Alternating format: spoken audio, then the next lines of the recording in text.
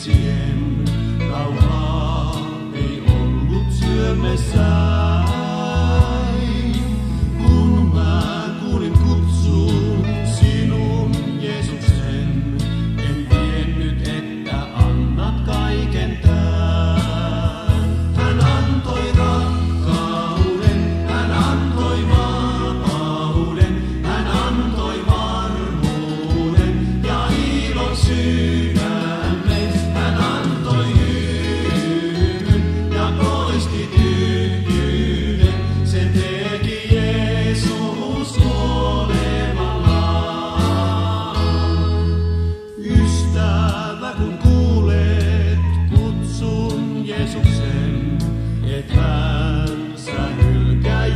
edustaa.